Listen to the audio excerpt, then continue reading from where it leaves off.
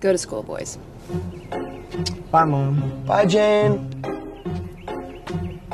I am truly jealous you got to suck on those tits when you were a baby.